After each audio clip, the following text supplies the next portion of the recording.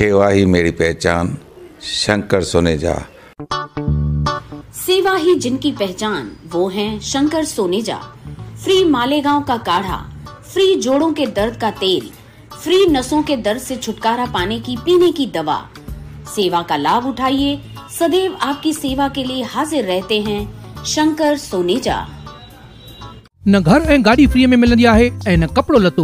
पर हा, रिश्तो डॉट कॉम ते रजिस्ट्रेशन बिल्कुल फ्रीअ में मिलंदी आहे। जिते टीह हज़ार खां वधीक प्रोफाइल्स रजिस्टर्ड आहिनि ऐं जिते ख़ासि करे छोकिरियुनि जा प्रोफाइल्स सेफ़ ऐं सिक्योर्ड रखिया वेंदा आहिनि। त जल्दी ई पंहिंजो नालो रजिस्टर करायो। थी सघे थो तव्हांजो जीवन साथी तव्हांजो इंतज़ार कंदो हुजे। रिश्तो डॉट कॉम सिंधियुनि जो सिंधियुनि सां। Online Sindhi matrimony. नमस्कार, मैं राजेश दलवानी। आप देख रहे हैं उल्लास लाइन बुलेटिन। शहर की ताज़ा खबरें देखने के लिए हमारे न्यूज़ चैनल को ज़रूर सब्सक्राइब करें। कल Ulhas Line Bulletin news channel ने धोखादायक इमारतों के विषय पर एक खबर दिखाई, जिसमें अजब शहर के गजब कारनामों के बारे में बताया। इस खबर चलने के बाद भारतीय जनता पार्टी के आमदार कुमार एलानी और पूर्व नगर सेवक राजेश विद्रिया ने पत्रकार परिषद कर बताया कि भारतीय जनता पार्टी शहर की जनता और धोखादायक इमारतों के रहवासियों के साथ है और यह भी बताया कि इमारतों के जमीनी मालिकाना हक वह इन इमारतों के रहवासियों का है, जिसके लिए भारतीय जनता पार्टी इन रहवासियों के साथ है। दरअसल, उल्लासनगर कैंप एक न्यू टेलीफोन एक्सचेंज के सामने प्लॉट नंबर 619 छीट नंबर 60 पर Gulmohar park cooperative housing society है, जो तकरीबन 30 साल पुरानी है। यह इमारत धोखादायक इमारतों की सूची में शामिल है। मनपा की तरफ़ से इस इमारत पर तोड़क कार्रवाई की जानी थी, पर अब रहवासी खुद ही इस इमारत को तोड़ना शुरू किया गया है। इमारत वासियों का आरोप है कि पिछले कुछ समय से इनको परेशान किया जा रहा है। उन्होंने यह भी बताया कि इमारत को बने 30 साल हो चुके हैं। अब इमारत का रीडेवलप होना है और अचानक से 30 साल बाद इमारत का लैंड ओनर पहुँचता है। इमारत वासियों ने बताया, अचानक से सिटी सर्वे ऑफ़िस के अधिकारी वहाँ मापजोप करने पहुँचे, जिसका इमारत वासियों ने विरोध किया था। शहर में इस तरह का यह कोई पहला वाक्य नहीं है।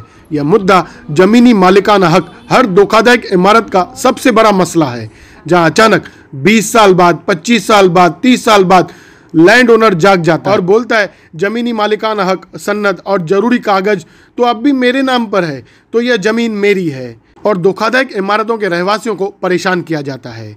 अब इन सारी बातों को लेकर आमदार कुमार एलानी और राजेश विद्रिया ने पत्रकार परिषद में क्या बताया आइए जानते हैं। देखिए जो 290 धोखादायक बिल्डिंग है अति धोखादायक बिल्डिंग है जो वेरी डेंजरस बिल्डिंग है।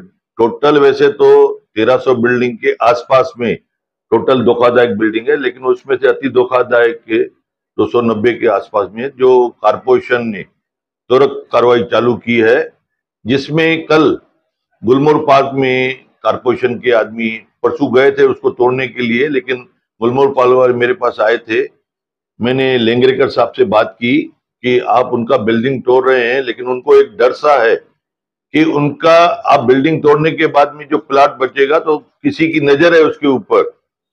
कि बिल्डिंग टूटने के बाद में जो प्लाट बचेगा तो कोई बिल्डर या कोई दूसरा कोई आदमी उसको कब्जा ना कर ले। इसके लिए वो लोग सोच रहे थे भले बिल्डिंग खाली पड़ी है, लेकिन टूटे नहीं।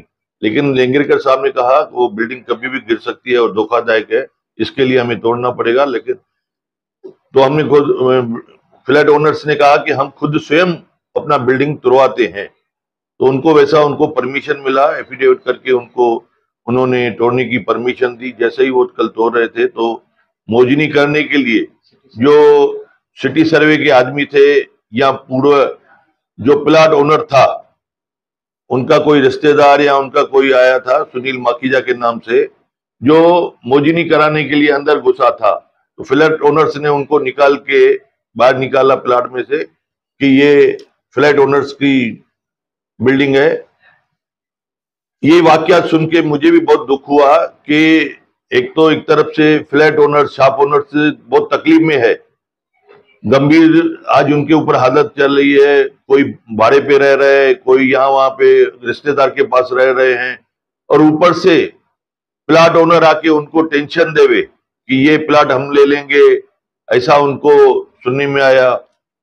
मैं सभी शहरवासियों को अपील करता हूँ, अगर ऐसी कोई भी वाक्य जो भी फ्लैट ओनर्स है, चाहे शॉप ओनर्स है, जो फ्लैट में परचेज करके रह रहे हैं या दुकान परचेस करके रहे हैं, और जिन्होंने 25 30 40 साल पहले बिल्डिंग बनाई थी, अभी उसका कोई हक वास्ता नहीं है।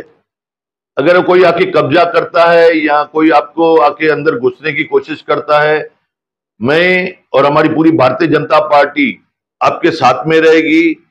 हम फ्लैट ओनर्स के साथ में है, शॉप ओनर के साथ में है, कोई भी अगर कहाँ पे भी ऐसा कोई वाकया हो तो हम लीगल में आपको मदद करेंगे। हम पूरी प्रयास कर रहे हैं, कोशिश कर रहे हैं, जो फ्लैट ओनर्स है, शॉप ओनर्स है, उनको मालकाना हक मिले। अभी हाल ही में एक जीआर आया है और दूसरा जीआर आने वाला है, जिसमें फ्लैट ओनर्स और शॉप ओनर्स को मालकाना हक मिलेगा। और उनको जो जिन्होंने प्लाट सेल किया है, या जो बिल्डर आज जिसने डेवलप की, आज उनका कोई भी हक वास्ता नहीं बनता। हाँ अगर उसके अंदर उसकी प्रॉपर्टी है तो उसका हक वास्ता हो सकता है। अगर उसके अंदर उसकी प्रॉपर्टी नहीं है, अगर फ्लैट ओनर्स ने अपनी बिल्डिंग या सोसाइटी बनाई है, या बिल्डिंग में रह रहे हैं, मेंटेनेंस भर रहे हैं, बरसों से रह रहे हैं, और ओल्ड बिल्डिंग है, अगर कोई आके सोचता है मैं इसके प्लाट के ऊपर मेरा कब्जा हो, अभी ऐसा नहीं होता है कि भाई जो प्लाट आज प्लाट बेचा बिल्डर को, बिल्डर ने डेवलपर डेवलप करके फ्लैट ओनर्स को बेचा और आके वो सोचेगा कि मैं इस पे कब्जा कर दूँगा, अभी मेरे को कोई बोलेगा नहीं। तो सरासर गलत है। उसके ऊपर 420 और मुकदमा चलेगा, कायदे से कार्रवाई होगी। मैं उनको विनती करता हूँ, कोई भी ऐसा प्लाट ओनर, अगर आपका उसके प्रॉपर्टी उसके अंदर है तो आप अपना प्रॉपर्टी में आप जता सकते हैं। लेकिन प्लाट के ऊपर आपका कोई कब्जा नहीं होना चाहिए। हम फ्लैट ओनर्स और शॉप ओनर्स के साथ में, पूरे शहर में धन्यवाद, जय हिंद, जय झूलेलाल। देखिए, कल आपके ही कुछ न्यूज़ चैनल्स पे हमने ये न्यूज़ देखी थी। उसमें मोफा करके एक एक्ट है। Maharashtra ownership, flats, regularisation and promotion of construction, sale management transfer act 1963 जिसके तहत पूरे महाराष्ट्र राज्य में कोई भी बिल्डर अगर कोई भी बिल्डिंग बनाता है, बिल्डिंग पूरी होने के बाद, सोसाइटी बनने के बाद, पहले तो सोसाइटी उसको बनानी है, लेकिन अगर वो सोसाइटी नहीं बनाता है और फ्लैट ओनर सोसाइटी बनाते हैं तो सोसाइटी बनने के बाद तीन महीने के अंदर उसको खुद सभी फ्लैट धारकों को बुला के उनको कन्वीनेंस डीड करके देना है। एक अगर ये कन्वीनेंस डीड बिल्डर उनको करके नहीं देता है मतलब ज़मीन का मालकाना हक नहीं देता है तो सोसाइटी खुद जाके deputy director of society registration के तहत जिनकी थाना में ऑफ़िस है, वहाँ पर एप्लीकेशन करके और वहाँ से डीम्ड कन्वेनेंस हासिल कर सकती है। ये कानून है, ये कानून में एक दूसरा प्रावधान है कि अगर बिल्डर सोसाइटी बनने के बाद तीन महीने में कन्वेनेंस नहीं करके देता है तो उसको तीन साल की सजा है। और बिल्डर या उससे पहले जो लैंड ओनर्स थे, वो आज ऐसे समझते हैं कि प्रॉपर्टी कार्ड के ऊपर हमारा नाम है, सनद हमारे नाम पे है तो आज भी ज़मीन हमारी है। यह धारणा बिल्कुल गलत है।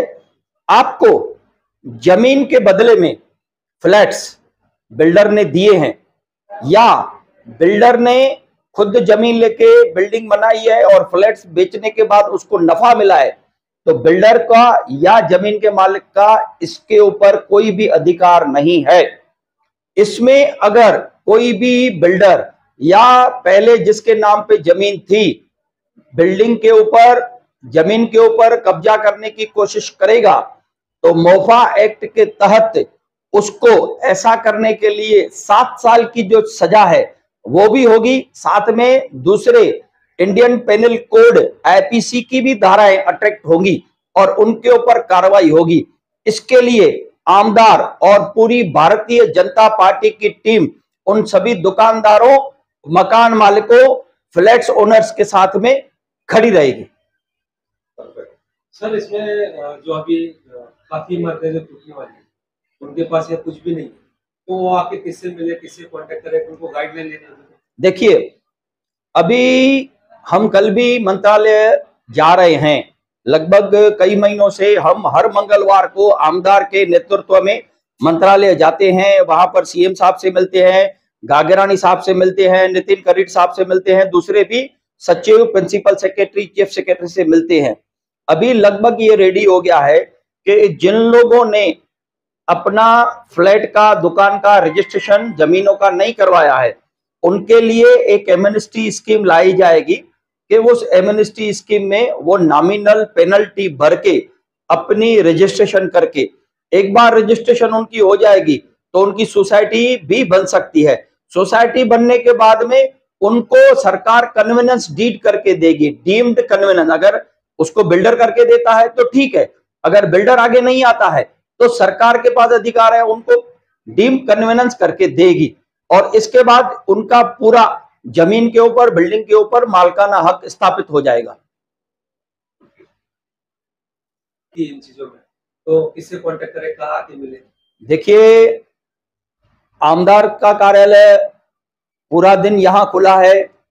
मेरा शेरावाली पैलेस झूलेलाल स्कूल के पास में उल्लासनगर दो में कार्यालय है वो भी खुला है। मेरा मोबाइल नंबर मैं आपको कई बार दे चुका हूँ nine eight double two double six double zero double five. आप मुझसे कांटेक्ट कर सकते हैं। किसी तरफ़ की भी आपको हेल्प होगी हम आके आ, आपके पास ज़रूर पहुँचेंगे। उल्लास लाइन बुलेटिन को सब्सक्राइब करें बेल आइकॉन दबाएँ और देखिए उल्लास लाइन बुलेटिन की न्यूज़ सबसे पहले आपके मोबाइल पर।